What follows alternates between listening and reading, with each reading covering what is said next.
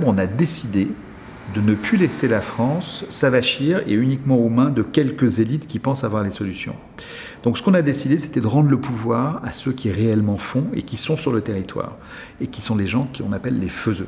Donc on a décidé que les faiseux devaient reprendre le pouvoir sur les diseux.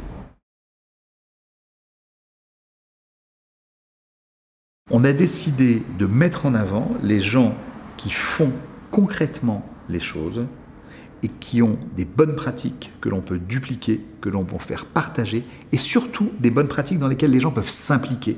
On a décidé de leur donner euh, des outils qui permettent de faire de l'amplification d'action, et on a décidé de les placer au cœur de nos discours. Beaucoup ont le sentiment d'être très seuls euh, et de se battre parce qu'il faut aller chercher un bout de subvention quelque part, parce que euh, votre élu à côté vous comprend pas, parce que votre voisin vous dit mais attends ça sert à rien, mais qu'est-ce qui m'emmerde celui-là, etc.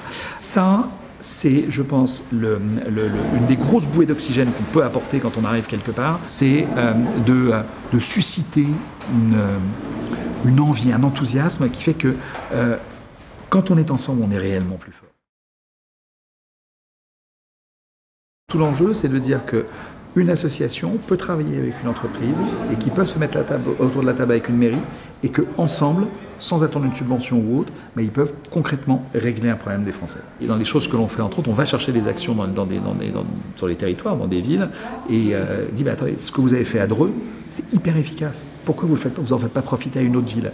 D'abord, c'est un gain de temps pour la ville, c'est un gain d'argent. Et la personne qui a monté ça tout seul euh, dans euh, son appart à Strasbourg, à Dreux ou ailleurs, vous n'imaginez pas la fierté qu'il a. Ah ouais, ce que j'ai fait, finalement, c'est utile. On ne s'en rend pas compte quand on est dedans en permanence. Ça, c'est un vrai accélérateur utile. C'est ce qu'on appelle, nous, faire une révolution solidaire.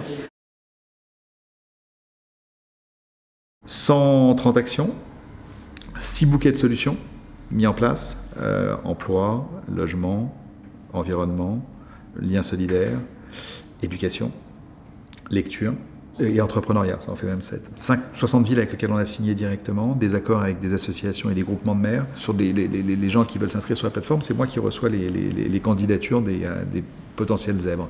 Euh, donc ça veut dire que je reçois par semaine, je sais pas, une centaine de mails de gens. Il y a beaucoup de vraies pépites et qui ne demandent qu'à grandir. Et quand on en trouve une, là, ça aussi, ça fait plaisir. On est en train de monter un pôle emploi citoyen en ce moment. On fait une expérimentation dans le 93. Quand dans la même pièce, on arrive à mettre côte à côte 21 associations et entreprises qui viennent d'univers différents. J'ai d'un côté Manpower, de l'autre côté ATD Carmonde, Solidarité Nouvelle face au chômage, l'ENIAC, et on arrive à ce qu'ensemble, ils travaillent et ils construisent, et ils fassent quelque chose, et il y ait du résultat. Ça, c'est une énorme fierté.